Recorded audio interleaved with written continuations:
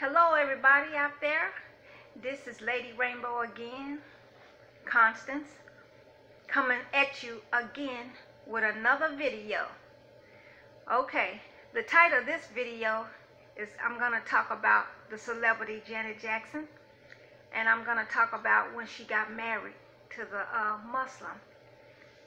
Many of you women, y'all do things for money, okay? You do things for money, and you think just because this man come in a certain religion or a certain country, that he the man of your dreams, okay? Now, some women do things for money for different reasons.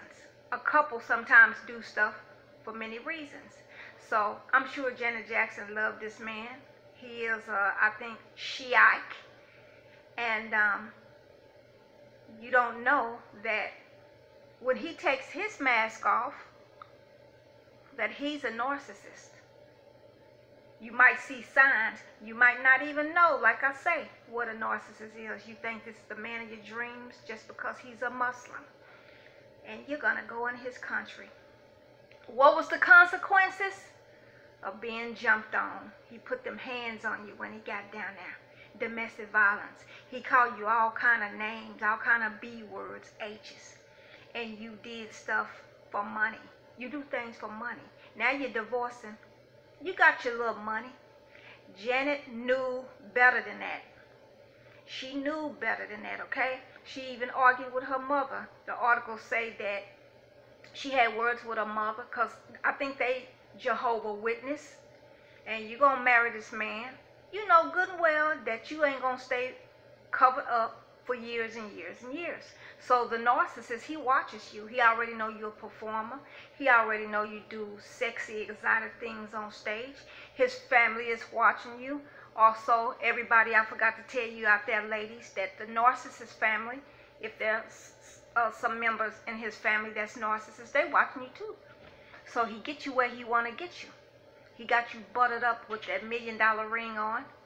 He got money and you fit to pay the consequences if it comes to an ass beating.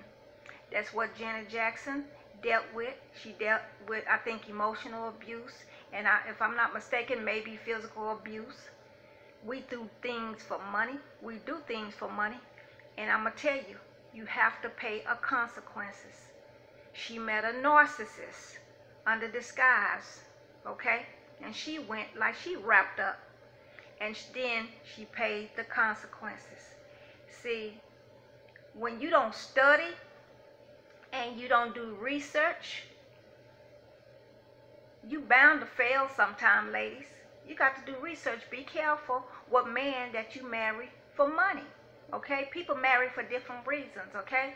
And that's all I'm telling you. I don't care what uh, religion that a man is, he gonna be a narcissist, okay? So she got over there in this country and stuff like that, or where he live and stuff, and calling her mother two or three o'clock in the morning because this narcissist being mean to her and ugly, okay? All right, I wanted to talk to you about that. Janet Jackson, her situation, she's divorced now. She met a narcissist. He looked beautiful, attractive. Oh, he in all his white.